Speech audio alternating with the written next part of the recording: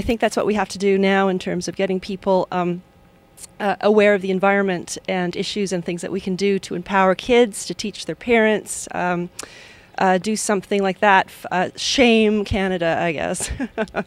and also, uh, we're the biggest contributors of CO2 emissions in North America because of the tar sands, and it'd be incredibly unpopular and maybe impossible to shut them down. But maybe if we, the government stopped. Um, subsidizing the materials that go into the development of those sands, uh, it would soon become financially unviable.